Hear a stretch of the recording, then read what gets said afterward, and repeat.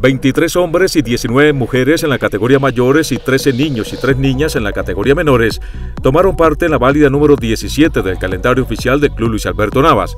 Cada minuto partían los deportistas desde Acolsure para tomar la vía hacia la Universidad Francisco de Paula Santander Ocaña y regresar al sitio de partida con un recorrido total de 4 kilómetros 400 metros.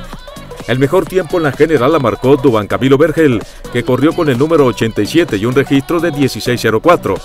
Diego Armando Rivera con el número 291 fue el segundo mejor tiempo con 17.35, ambos de la categoría élite.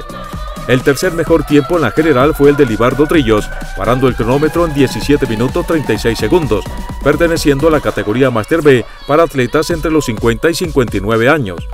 Hoy una prueba bastante exigente, como usted la puede ver una contrarreloj, el cual lo acosa uno el reloj y lo acosan los compañeros. Yo creo que estoy sobre los 17 en tiempo bueno, a pesar de que veníamos con 8 días atrás de, una carga pesada, pero ahí estamos. Eh, seguir en las, pruebas del club y seguir participando, Ariel. Asimismo, Libardo Trillos habla de su participación en la media maratón en Cúcuta. Bastante dura porque ya vino, lo más granado de, Colombia, de Venezuela, ocupando un, noveno lugar, 48 en la general y más de 1.500 atletas en la, en la categoría de los 21 kilómetros. Por su parte, Johnny Jesús Roja fue el primero en la categoría Master A de 40 a 49 años, corrió con el número 265, marcando un tiempo de 18 minutos 26 segundos. O sea, reloj muy bonita, eh, muy buen tiempo nos hizo, un poquito dificultosa por lo que vengo de salir de por turno, es difícil siempre, pero hice todo mi esfuerzo y hice un mejor tiempo. Cada vez que, que estoy corriendo veo que estoy mejorando poco a poco. Johnny Jesús Rojas es empleado del Hospital Emiro Quintero Cañizares y luego de cumplir su turno de 12 horas sin descansar ni dormir, va y participa en las competencias dominicales.